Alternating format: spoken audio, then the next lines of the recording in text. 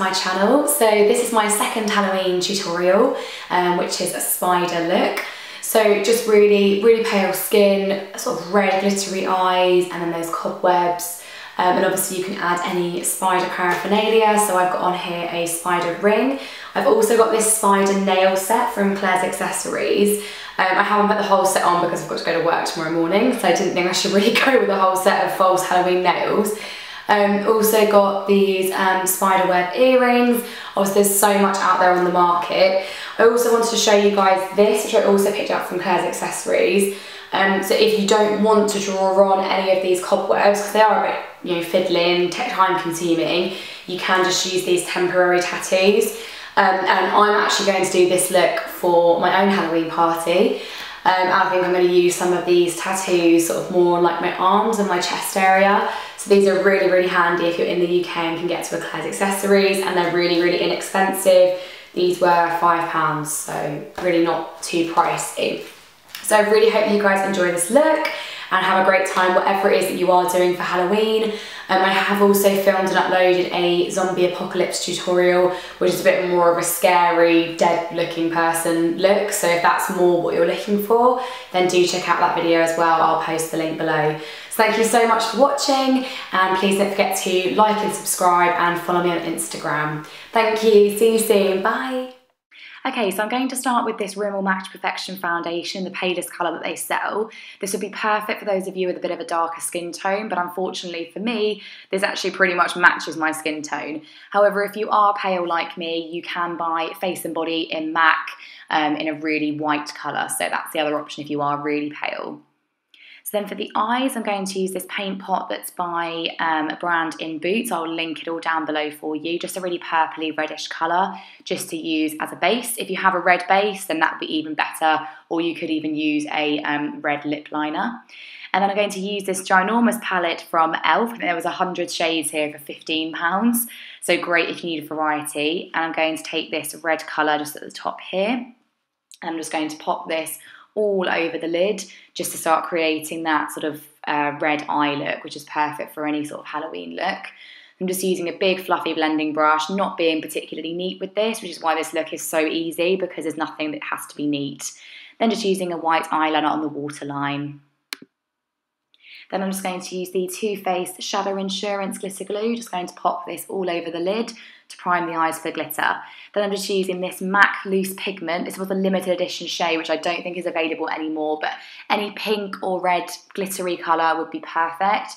This one was a limited edition in their Christmas collection, which is why I don't think it's available. Then I'm using a red lip liner. Obviously, if you have a red eyeliner, then great, but just popping this underneath the um, lower lashes um, and just going as thick as um, you want to with this. Then just popping on some black eyeshadow and again, not particularly neatly, but just buffing this into the outer corner just to create a bit more darkness. And then just popping on some mascara. Then I'm going in with these awesome spooky lashes by Eylure. You can buy these at Feel Unique and just popping these on over my natural lashes. These again are not the easiest to apply or the most comfortable to wear, but they do look perfect, especially for a spider look as they effectively are a spider's web. Um, but if you're not confident with lashes, then I wouldn't necessarily recommend these. Um, you might need to practice putting them on beforehand.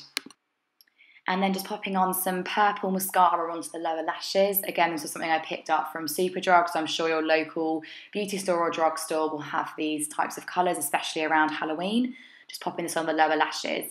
Then just going in with this loose powder by MAC. Lots of different brands do them. Laura Mercier, Makeup Forever, any white translucent powder just to make this even more pale and ghost-like.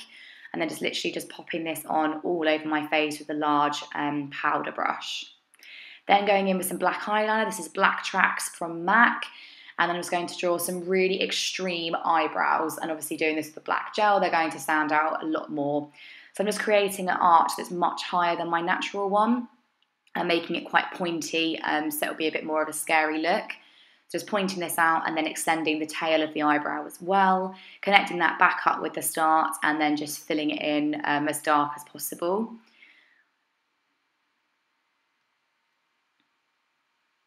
So you can see the difference between my natural brow and that one.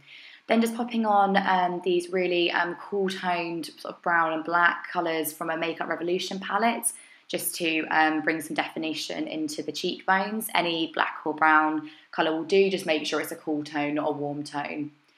And then I'm going to start drawing in my cobwebs. I'm just using um, a black eyeliner for this.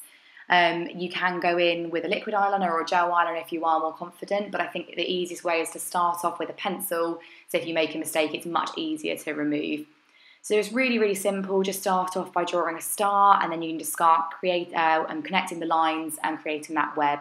Again, this hasn't got to be perfect. This is meant to be a natural spider's web, which never would be even. Um, so you haven't got to be an artist to be able to, you know, draw this on properly. So just do as much as you want to make it as big or as small as you like. And I'm just creating another one just in the corner and connecting that to my eyebrow. Um, this one was much easier to draw.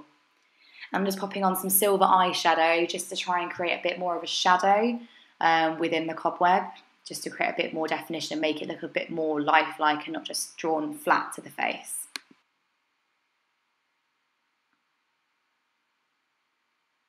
And again, doing the same thing on the bigger cobweb. You could also use a black eyeshadow if you wanted to, but just be careful that you don't cover up um, too much of the lines of the cobweb. And then I am now going over with um, that same Black Tracks gel liner by MAC just to make it stand out a bit more um, against my pale skin. Like I said, if you are confident at drawing cobwebs, go ahead straight away with the gel eyeliner. But this is just a method that makes things a little bit easier, um, you know, just to make life easier for ourselves. Just going over most of those lines just to make this stand out a lot more.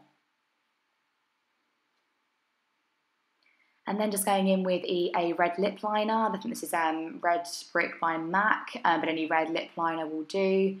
Um, and just popping this on just in the middle um, of the lip area and um, on the top because we're going to use a darker colour um, on the outer areas of the lip. And then it's popping on a bright red lipstick. This is Atomic Red by Makeup Revolutions, just a really, really bright cherry colour red lipstick, which is exactly what we want for this look. And again, only popping this um, in the middle of the lip and leaving the outer corners bare. And then I'm going in with a black lipstick um, on the outer corners to try and create a bit more of an ombre um, lip effect. So just popping this up to the red and then taping a lip brush and blending the two colours together just so they look a bit more natural and there's not that harsh line in between where the colours change. And that is the finished look, so I really hope that you enjoy. Thank you so much for watching.